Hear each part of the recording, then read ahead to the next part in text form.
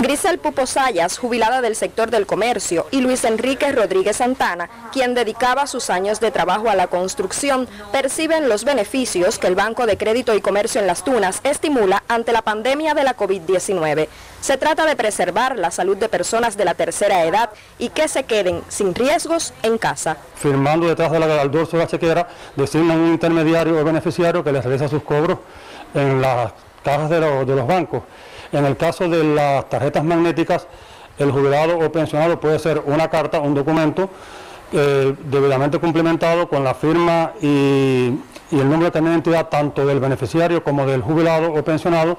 En el territorio oriental cubano, más de 2.900 jubilados y pensionados están asociados a tarjetas magnéticas de Bandec.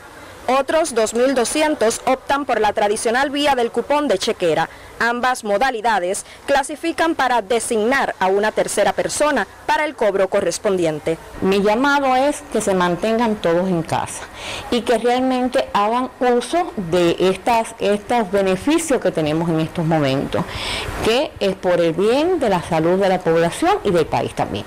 La intención es cuidar también desde el sistema bancario cubano la salud de grupos vulnerables ante probabilidades de contagio por el nuevo coronavirus. Desde las Tunas, Natacha Díaz Bardón, Sistema Informativo de la Televisión Cubana.